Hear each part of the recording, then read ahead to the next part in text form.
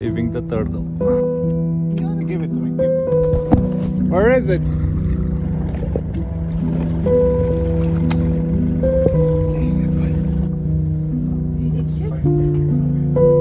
They're out of the trash. It's okay. It's okay, buddy. I'm sorry I put you on the back. I'm sorry. I'm sorry.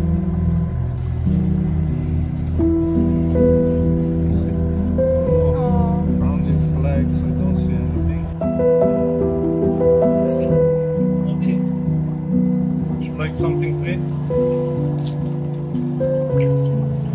Just spoke to a veterinary. And that's what the veterinary told me to keep him in the water so he won't get. And I'm around two hours